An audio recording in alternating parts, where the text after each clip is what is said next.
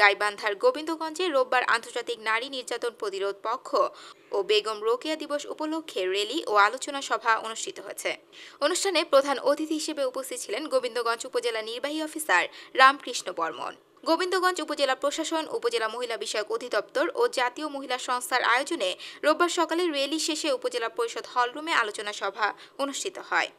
উপজেলা মহিলা বিষয়ক কর্মকর্তা জেবুন নেসা সভাপতিতে অন্যান্যর মধ্যে বক্তব্য রাখেন গোবিন্দগঞ্জ উপজেলা পরিষদের ভারপ্রাপ্ত চেয়ারম্যান আক্তারা বেগম রূপা, জাতীয় মহিলা সংস্থা চেয়ারম্যান শাহানা আক্তার, গোবিন্দগঞ্জ থানার অফিসার ইনচার্জ মেহেদি হাসান, দুর্নীতি প্রতিরোধ কমিটির সভাপতি অ্যাডভোকেট আলাউদ্দিন সরকার, হ্যাপি সহ আরও অনেকেই।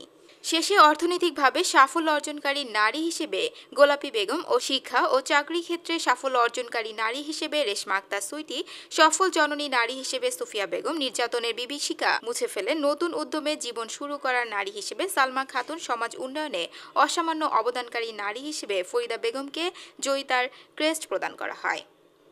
গাইবান্ধা গোবিন্দগঞ্জ থেকে শামীম রেজার তথ্যচিত্রে পল্লী টিভি।